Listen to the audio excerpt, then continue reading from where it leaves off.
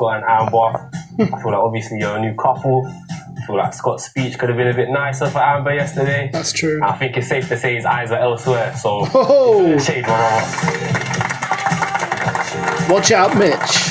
We're going to throw shade at Scott and Amber. Oh, surprise, because surprise. during Casa, you didn't get to know me at all, and then now you feel vulnerable. You're looking for the freshest couple in the villa.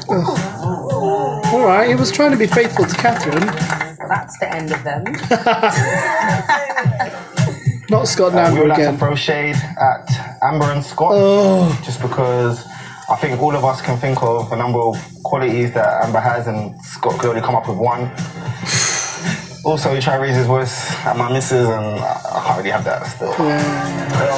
your missus. yeah. So basically, Listen, I accept all the shade. It's mostly aimed at me, but They're all aimed at you. yeah, that's what happens when you cause a few problems in here. We were the easy cop out. We're gonna throw shade Well at said. Sam